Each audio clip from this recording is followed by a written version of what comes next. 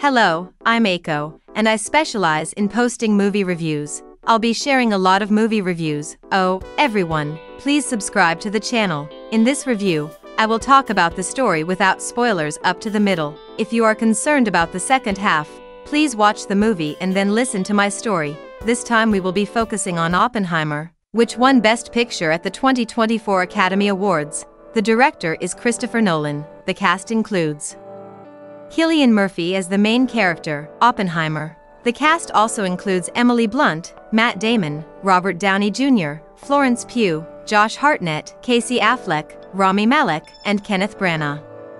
The story goes something like this.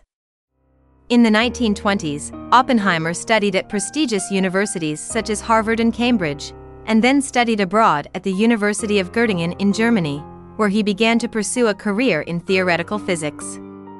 After receiving his PhD, he returned to the United States and taught at the University of California, Berkeley, where he became the leader of the Manhattan Project, which was launched by the US military, which was frustrated by the fact that it was lagging behind in the development of the atomic bomb. Will be nominated, Oppenheimer chose Los Alamos, New Mexico, as the base for the Manhattan Project. Oppenheimer gathered all the key researchers, took his family with him, and headed to Los Alamos to begin developing the atomic bomb in earnest. The story unfolds between the pre-war and post-war timelines, and depicts the aftermath of the development of the atomic bomb through the perspective of one man, Oppenheimer. This is the story. It is a well-known fact that atomic bombs were actually created and used, so the movie moves forward with the understanding that the viewer knows this. This movie depicts the character Oppenheimer. I think that what director Christopher Nolan wanted to express through this character was the threat of nuclear weapons. Basically, the story progresses in Oppenheimer's first person.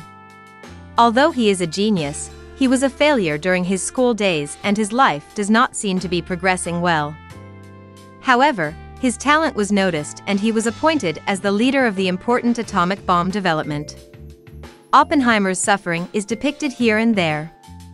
The same is true, of course, for the development of the atomic bomb. I think the viewers will feel anxious about the development and even possession of nuclear weapons from the way Oppenheimer is suffering. I felt that this film contained the hope that if more people had this fear, they might be able to stop having nuclear weapons. Regarding the significance of making this film, it was the intention of director Nolan and other producers to preserve the history of the creation of the atomic bomb, which changed the world, in the form of a feature film like this. It might be, although this was already about 80 years ago, nuclear weapons still pose a threat to peace. I think the message of the movie Oppenheimer was to make this history widely known and to make people aware of the horror of nuclear weapons through the entertainment of movies. I think this is why it was selected for Best Picture at the Academy Awards because it has both a message and artistic quality. However, this movie is not very simple. I think many people have heard mixed reviews before seeing this movie. The most common comment I heard was, it's hard to understand because it goes back and forth between the past and the present. I would like people who are about to watch it to be careful, but I don't think it will be too confusing if you understand the rules for passing time in the first 10 minutes or so. The timeline is Oppenheimer himself talking about the Manhattan Project from his student days. The other thing is about Oppenheimer after the war, which other companies talk about. Some parts may be in black and white, but if you remember that these two time axes go back and forth, I think you'll be able to watch them fairly easily from then on. However, towards the end, the problem of too many names occurs. To be honest, I didn't need to remember this person's name, I just needed to know who it was. As for why it was edited this way, I would like to talk about it later, with spoilers for the second half. Also, if you read about the Red Scare, which became a big issue in post-war America, on Wikipedia, you won't be left behind in the flow of the movie. I felt that young people should see this movie. I think many people will be able to understand just how powerful the atomic bomb is by watching this movie. Of course, Japanese films made immediately after the war, such as Kaneto Shindo's Children of the Atomic Bomb and Hideo Sekikawa's Hiroshima, also depict the tragedy of the atomic bomb, and should be seen by people all over the world. I think it's a movie, but you have to be prepared for the expression to be direct. The atomic bomb scene also appears in the animated film in this corner of the world. I thought it would be great if this kind of film would get more attention in the wake of Oppenheimer. I would like to express this movie in terms of scores. 90 points. The downside was that it was a bit long, at 3 hours. I would have liked it to be about two and a half hours. Now, from here on out, there will be spoilers. If you haven't seen this movie yet, please subscribe and like the channel, then close your browser or app.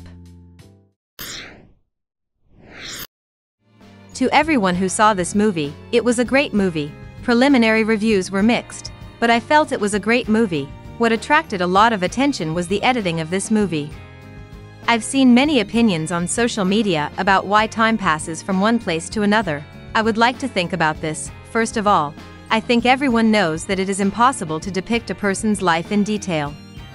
Therefore, I felt that the passage of time was well expressed by going back and forth between the past and the present, Furthermore, since it is a well-known fact that the development of the atomic bomb was successful and that it was dropped on Hiroshima and Nagasaki, we wanted to heighten the tension leading up to the success of the development of the atomic bomb.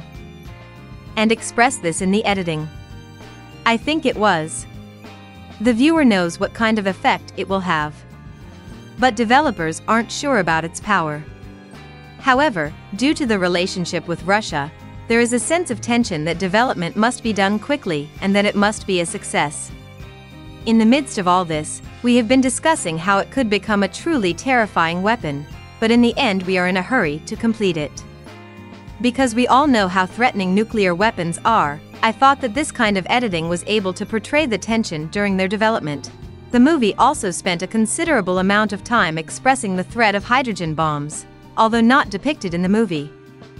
On March 1, 1954, the United States conducted a hydrogen bomb test at Bikini Atoll in the Marshall Islands in the South Pacific.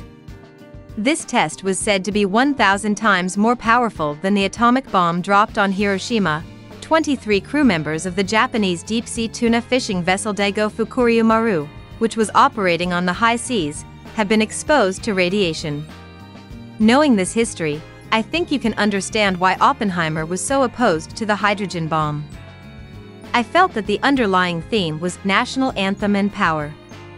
Even though Oppenheimer created the atomic bomb, in the end he seems to have been made disposable, and because he touched on communism, he gets criticized a lot. Of course, the country continued to build and possess nuclear bombs even after that. In short, once you know how to make a nuclear bomb, you don't need a developer. I thought this was depicted in the scene at the end where he receives a medal. I had one big question. That is, the screen size changes all the time. The entire movie is shown in VistaVision size, but there are black spots at the top and bottom, making it cinemascope size. What difference did this make? I thought about it again. I thought Oppenheimer's subjectivity, his feelings, and his fluctuations were expressed in VistaVision, and the things he depicted as historical facts were expressed in Cinemascope. There were so many changes that I don't know if it's true or not. How about that? Well, what do you think? It was a wonderful piece of work, wasn't it? In Japan, this movie was released very late. The reason for this was that, as there were no scenes of Hiroshima and Nagasaki after the atomic bomb was dropped, the film might not be recognized as the only country in the world to have suffered an atomic bomb.